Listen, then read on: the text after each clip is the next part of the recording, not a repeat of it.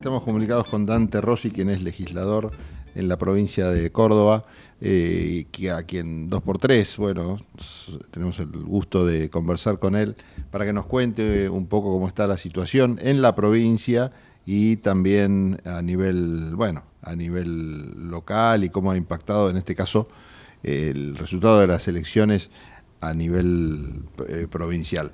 Eh, y después vamos a hablar de un documento que me ha hecho llegar interesante, que se llama o lleva por título Acompañar la esperanza de cambio con colaboración desde la oposición y recrear una nueva coalición nacional. Te pregunto primero cómo impactó el triunfo de Milei allá, si se esperaban esos números, fue, fue contundente el triunfo particularmente en Córdoba. Dante Pablo Galeano te saluda, ¿qué tal? ¿Cómo estás? Hola Pablo, buenas tardes, ¿cómo andas?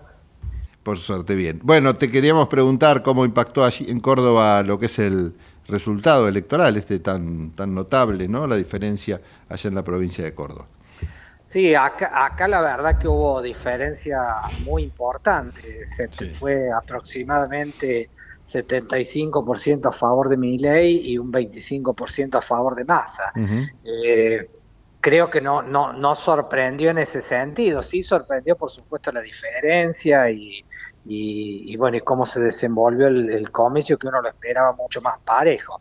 Pero en Córdoba sí, las diferencias fueron importantes, notables, y fue más o menos lo que las encuestas estaban augurando acá en la provincia. Bueno, sacaron un documento, eh, particularmente vos, después decime si fue acompañado eh, por algún otro dirigente cordobés, cuyo título, decía bien en el comienzo, dice Acompañar la esperanza de cambio con colaboración desde la oposición y recrear una nueva coalición nacional. Acá lo que, lo, que, lo que leo también es la necesidad de una coalición nacional que si habría que recrear es porque se, se rompió. Sí, eh, ¿qué me parece a mí? Hoy lo escuchaba Macri decir que que las ideas del PRO hoy están depositadas y el que lleva la bandera es Javier Milei. Eh, nosotros, yo que creo que hay que, por supuesto, acompañar la esperanza que tiene la gente, porque nosotros no podemos augurarle el fracaso al nuevo gobierno. Me parece que, que, la gente hoy necesita tener esperanza, que eso fue lo que votó el domingo, eh, y nosotros tenemos que acompañar eso desde el rol de la oposición. Nosotros no creemos que estas ideas nos vayan a sacar de, de la pobreza y de la marginalidad que hoy tiene la Argentina con una crisis muy profunda eh, pero tenemos que acompañar ese deseo de la gente que le vaya bien, acompañar las medidas que creemos que, que están bien para la Argentina y prepararnos para ejercer nuestro rol de oposición. Y ese rol de oposición implica recrear una alianza distinta a la, que, a la que se produjo hasta hoy. Yo creo que lo que hizo Macri y Bullrich fue romper juntos por el cambio tal cual estaba planteado hasta ahora y, y, nosotros tendremos la la, obligación de generar eh, una alternativa distinta que vuelva a enamorar a los argentinos con, sectores que piensen parecido. Eh, bueno, la decisión de Lilita Carrió, por ejemplo, de hace algunas horas nomás, es la de abandonar definitivamente Juntos por el Cambio. ¿Crees que es el comienzo de otro tipo de manifestaciones de las otras fuerzas que componen Juntos por el Cambio en este sentido?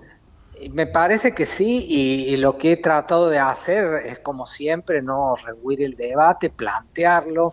Eh, creo que hoy, hoy algunos radicales me criticaban diciendo que yo había dado por muerte la alianza Juntos por el Cambio, y yo le decía que no hay ninguna forma de que nos llamemos Juntos por el Cambio y que no esté Macri o Bullrich, por ejemplo, que ha sido, o Macri, que fue socio fundador de esta expresión política. Entonces nosotros, eh, esa, ese espacio me parece que ha concluido en la Argentina. Lo que va a haber es nuevos realineamientos. Seguramente arrancará un debate con la coalición cívica, con Horacio Rodríguez Larreta, eh, con una expresión más de centro, progresista, eh, sobre las cosas que nosotros tenemos que hacer en la Argentina. Se vienen debates muy importantes sobre los cuales nosotros no coincidimos. Yo digo, la privatización de IPF hoy ha salido un, diputado de la coalición cívica muy cercano a mi ley a decir que la ley de aborto es prácticamente un desastre que hay que derogarla. Están hablando de derogar la ley de alquiler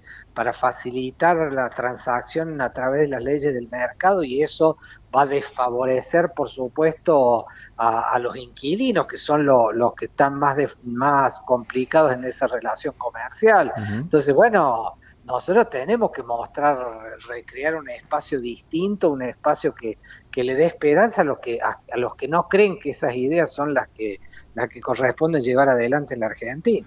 ¿Crees que el que votó a mi ley, por ahí es muy pronto también para hacer un análisis de esta naturaleza, eh, no, no lo votó, digamos, muy convencido por sus ideas, que en realidad también fueron bastante contradictorias, ¿no? Me cuesta decir, este, en definitiva, qué proponía mi ley, porque una cosa fue la plataforma que presentó en la justicia electoral y otras cosas eran las declaraciones públicas. Es todo un misterio, pero este, ¿crees que a pesar de eso, bueno, obviamente recibió los votos que recibió, pero no necesariamente implicaría un apoyo a este tipo de, de medidas ¿no? que vos estás comentando?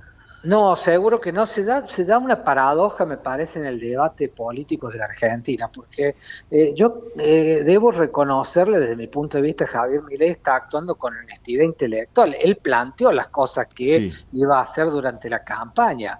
los, los, pero, pero hay, yo creo que muchos argentinos votaron, algunos en contra, o muchos en contra del kirchnerismo, y otros hasta diciendo, bueno, pero no lo va a hacer porque el Congreso no lo va a permitir. Eh, bueno, el, yo creo que, bueno, que que él está planteando las ideas que está volviendo por lo que originariamente planteó. Me parece que se moderó en el último tramo de la campaña. Eh, yo he dicho también que los dirigentes Juntos por el Cambio que lo han acompañado el año que viene van a tener que dar explicaciones respecto de las cosas que lleva adelante Javier Milei, porque él dijo claramente que lo que iba a hacer. Yo lo escuchaba a Macri diciendo, bueno, hay que darle la derecha porque nunca gobernó, porque no sabemos lo que va a hacer. Sí sabíamos lo que va a hacer. Todas estas cosas que está planteando hoy, eh, las planteó en su momento. Si él, si él apareciera ahora diciendo o, impulsando los vouchers para la educación pública, que nos vamos a sorprender si lo planteó en la campaña. Eh, bueno, creo que hay que prepararse. Yo entiendo que va a ser o que está tratando de reeditar una, una situación similar a la que vivimos con Carlos Menem me acuerdo que en su momento Raúl Alfonsín planteaba que ese modelo nos, iba a llevar al desastre en la Argentina, como terminó ocurriendo, y hubo muchos, incluso del radicalismo, que acompañaban las primeras medidas que tomó Carlos Menem. Sí, tal cual. Bueno, eh, tomando ese momento como ejemplo, eh, ¿cuáles crees que podrían ser las actitudes que el radicalismo o parte del radicalismo podría tomar para liderar una suerte de oposición a eso que claramente se viene, porque en la época del menemismo, yo me acuerdo, estaba Alfonsín solo tirando este, piedras y opiniones, pero lo habían dejado totalmente en costado, era una opinión eh, marginal y hasta mal vista. Más de un dirigente radical le decía directamente, sin pelos en la lengua, que se volviera a Chascomús. Eh, ¿Qué puede pasar o qué, qué habría que hacer para que no se repita eso y lamentarlo después, bueno, en forma tardía, como pasó con Menem? Ojalá que, que, hayamos aprendido de los errores que cometimos en el pasado. Mm. Eh, nosotros tenemos una fortaleza muy importante como para liderar cualquier expresión y coalición que venga para adelante. Nosotros tenemos cinco gobernadores, tenemos muchos intendentes, eh, mayoría en la Cámara de Diputados, en el Senado, eh, legisladores provinciales, muchos dirigentes de mucha valía. Yo creo que lo que hay que hacer es es saber cuál es el rol que tenemos que jugar para adelante. Nosotros no, no vamos a ponerle palos en la rueda a ningún gobierno porque creo que, que si le va mal al gobierno, le va mal a todos los argentinos.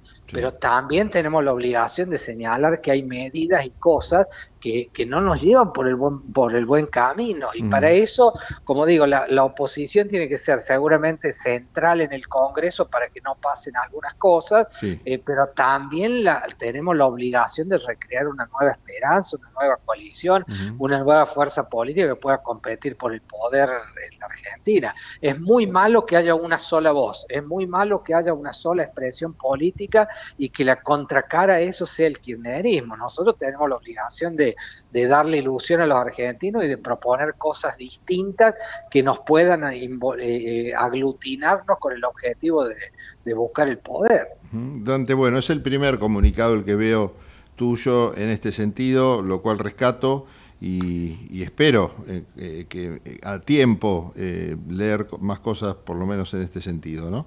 Pero bueno, este, quizás el partido tenga los algunos tiempos que, haya que respetar en otras situaciones, pero en esta en particular me parece que no hay tiempo para, para perder y por lo menos empezar a armar rápidamente algo que pueda contener lo que yo espero que no pase, ¿no? Pero me parece que va a haber acá eh, situaciones que tienen que ver con lo que vos decís, ¿no? Con lo, lo, que planteó muy honestamente Javier Milei y que va a ver que si se puede llevar a cabo o no. Bueno, te agradezco mucho y seguimos el tema muy de cerca, obviamente. Gracias a vos, Pablo. Un abrazo. Un abrazo. Dante Rossi es legislador de la provincia de Córdoba.